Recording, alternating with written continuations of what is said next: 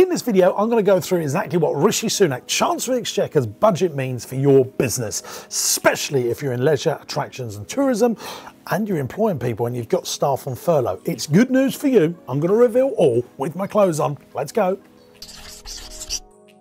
Hey YouTube, James Sinclair on the channel designed to help grow your business. If you're serious about entrepreneurship, make sure you subscribe to the channel, comment below and let me know what you think as I go. Big day for entrepreneurs because Rishi Sunak done his summer statement yesterday. For those of you that don't know, Rishi Sunak is the Chancellor of the Exchequer and he holds the purse strings for entrepreneurs, business owners, basically everyone here in the country. And for my industry, he's made a huge difference and I'm so excited and so thankful for what this government have done to support businesses through coronavirus. Now, here's the first thing that's coming up that's going to help us save jobs and increase our business and grow our business VAT. For leisure, tourist attractions, visitor attractions, hospitality, he's reduced VAT down to 5% from 20%. That's a huge amount. Now, on a 12 month annualized basis for our business, that will be 1.5 million pounds back into our business. That means that we can pay some of this huge amount of debt that's come back. We've taken on a million pounds worth of debt. We've closed, we've got landlords, rents and due, and oh, all of this stuff. Now, some people say, oh, you should be reducing your prices. In usual times, I would say businesses should reduce their prices to allow for this. The fact is, though, businesses have had so much turnover loss. This is going to be a way that they can get that turnover back into their business, pay down some of this debt and save jobs, save jobs. And that's what we're going to be doing with it. We're going to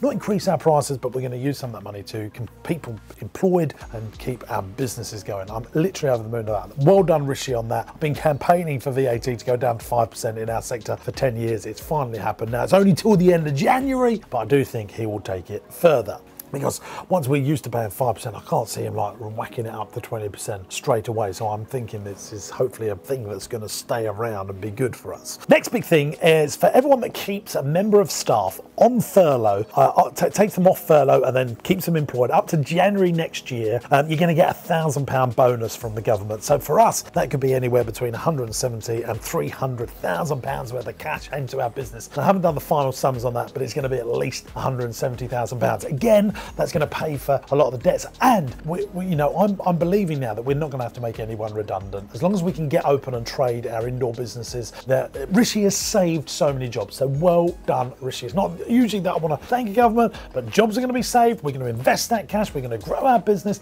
and in turn, that will grow the Treasury's exchequer through raises of tax on profit rather than tax on turnover, which is something I've always been campaigning for. Because making employment cheaper makes jobs be created. Making turnover taxes lower makes the the business make more profit, then you pay tax on the right play. I mean, loads of you guys have been watching my videos. I've always been saying you should tax profit, not turnover. That's finally happened. Let's talk about stamp duty. Stamp duty, um, you know, is a tax on moving. It's a tax on improving. It's a tax on people trying to get their foot on the ladder. And he's reinvigorated the property economy, which is a huge part of the UK PLC. Um, you won't pay stamp duty now on the first £500,000 of buying a property um, as long as it's your main residence. And if it's a second property, you're going to get a discount of about half of what you would pay on that £500,000. You just pay the 3% surcharge for property investment, but you won't have to pay the usual stamp duty on that first half a million. Savings all round, I think that is going to get people spending cash and putting money in the economy through the housing market. Well done, Rishi.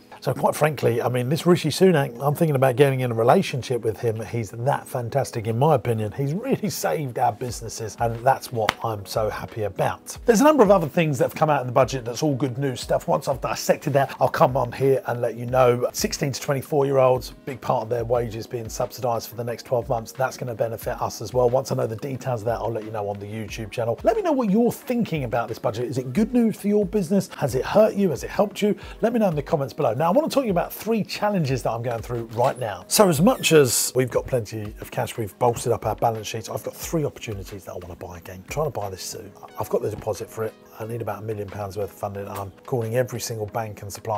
I know that I can literally smash it. In normal times, I'd be able to get the funding like that. This is what I'm finding right now. Now, whilst there's CBILS loans and bounce back loans, but traditional lending is tough, even if you've got a good profitable business like us. So, I mean, I'll get it over the line, but it's much tougher than it usually is. So the banks are pulling in the purse strings on normal economic growth and business investment. So um, I'm on that one as well. Um, I'm buying an industrial estate and another industrial unit. They're challenging to fund. Um, I'm talking to HSBC and Barclays on them. And whilst they're having the conversations with me because they know what we've got around us, this is not as easy as it usually would be. So I'm struggling on those. I do think this is the first signs of why we're going to have a recession because banks are pulling in their funding because they've done so much of this CBILS loan stuff and this bounce back loan stuff. I predicted this, and this is the problem. So if you want to grow a business right now and you want to get funding and yes, it's a new business, but it's an industry that you understand, in usual times you'll be able to get the money, you're going to find it tough. So um, I'm trying to find creative ways of doing this. I'm throwing everything at it and the kitchen sink. But now is when those deals are around. You know, the deals are coming up right now, and I like to do things in a recession. I mean, like recessions are great for my sector. You know, less people are going to go on holiday. We're a cheap day out for most of the people. So people want to do things with their kids. I want to open more day nurseries. Now is when I'm trying to do this stuff and I've got my funding in place for deposits to go and buy these freehold properties that we're going to trade from. But God, um, our bank's asking more questions than And this is the time when you can get those deals. That's why people that have got cash in an economic downturn are the ones that are going to hugely benefit. So that's a little update from me, James Sinclair, here on the James Sinclair YouTube channel, helping you grow your business. Let me know what you think in the comments below. Subscribe to the channel. Please tell your mates about it. And don't forget to listen to my podcast where I'm coaching business owners on how to grow their business. You can listen to my podcast, James Sinclair's Business Podcast, wherever you get your podcasts. Watch this video here. It tells you about getting customers, and I think that's a crucial part of growing your business.